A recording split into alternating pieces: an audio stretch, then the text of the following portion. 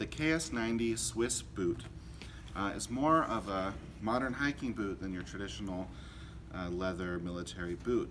And I say this because the rugged bottom tread here, uh, which is actually licensed by Vibram, um, is met with an inner shock absorbing foam core.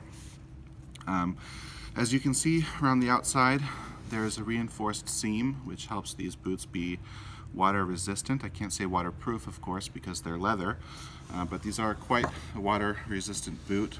Um, many of the other seams around this boot are also reinforced. As you can see here on the back, this seam has an extra piece of leather on the outside as well as on the inside. So all of the weak points of this boot have been addressed uh, by whoever designed them, the Swiss of course. And we sell these boots in narrow, standard, wide, and extra wide in a range of sizes. Um, so there's definitely one that's going to fit your foot well.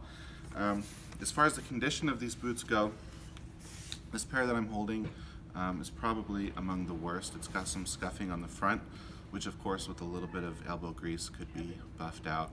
Um, and the tread is just slightly worn.